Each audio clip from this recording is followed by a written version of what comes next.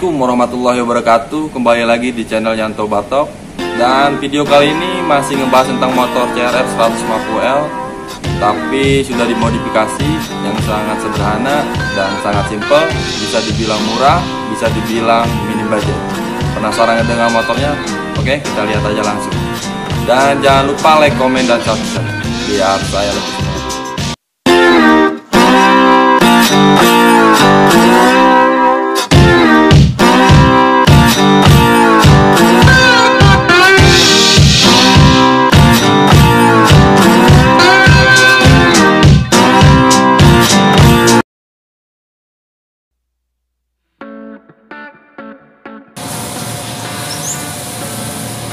Nah, ini dia motornya, guys. Dan sebelum menuju ke aksesoris tambahannya, saya akan jelaskan dulu di sini saya udah lepas kaca spion. Dan ini tampilannya yang sudah dilepas. Dan yang kedua juga saya udah lepas plat nomor dan saya sudah pindahkan di bagian bawah ini. Ini sudah saya pindah dan yang ketiga saya lepas juga spakbor bagian belakangnya. Nah ini dia gambarannya yang sudah dilepas. Oke itu dia. Dan sekarang kita menuju ke aksesoris utamanya. Oke, kita langsung bahas aja aksesoris tambahan yang pertamanya yaitu di sini di bagian stangnya sudah saya tambahkan aksesoris handguard. Yap, benar di sini saya sudah pasangkan handguardnya. Dan ini sangat banyak dijualan di toko-toko online. Dan harganya juga sekitar 150 ribuan. Mudah dicari.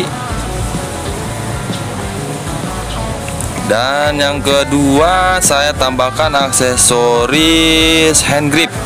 Bukan tambahkan ya, tapi sudah diganti hand gripnya yang standar sudah saya ganti pakai hand grip protector oke itulah yang kedua.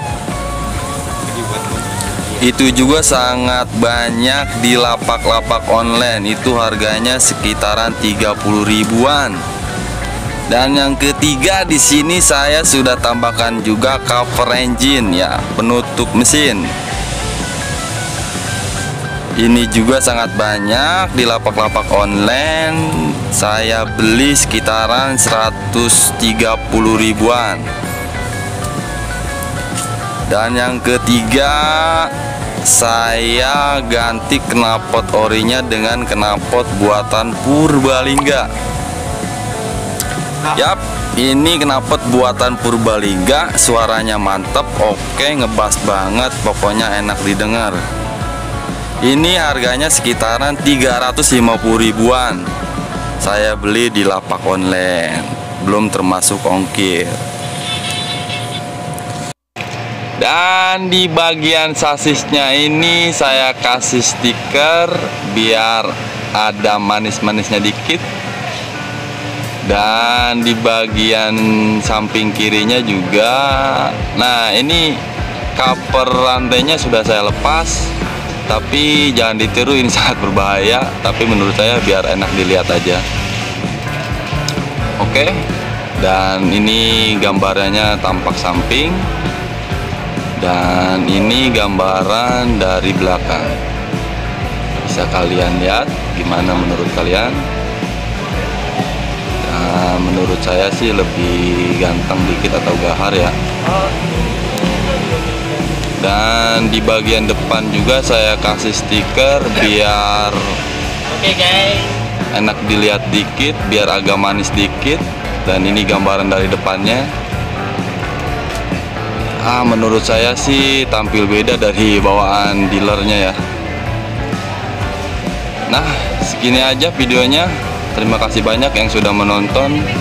Dan terima kasih banyak yang sudah subscribe dan yang belum subscribe tolong bantu subscribe biar saya lebih kreatif lagi bikin konten-konten berikutnya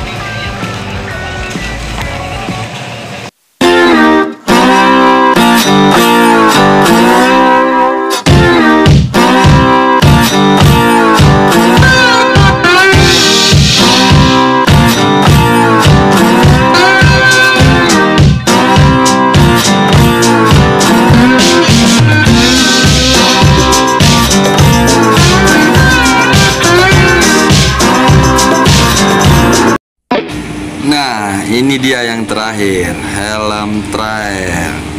Jadi, kalau kalian punya motor trail, kalian harus punya helm trailnya juga, guys. Biar kalian lebih keren ketika menunggangi kuda besinya.